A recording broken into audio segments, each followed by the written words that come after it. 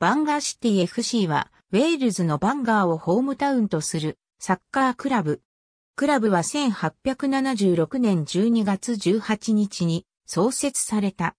1889年、ウェルシュカップ決勝でノースウィッチビクトリアを2から1で破り、初優勝を飾った。1896年には、レクサムに3から0で勝利し、2回目の優勝を果たした。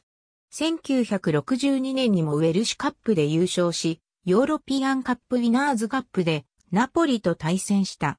最終的にプレーオフで敗れたが、ホームで行われた第一戦は2から0で勝利した。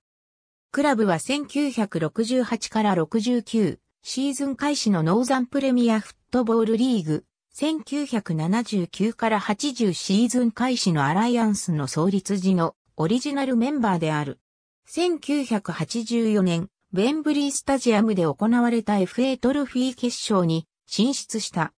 ウェールズのクラブがウェンブリースタジアムで試合をするのは1927年のカーディフシティ以来のことだった。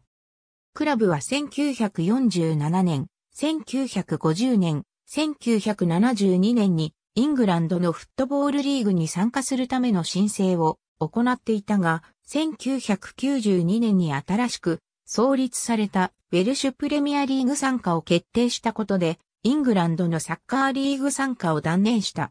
1994年にプレミアリーグ初優勝を飾り、1995年には連覇を達成した。2011年、プレミアリーグで3回目の優勝を果たした。出展。ありがとうございます。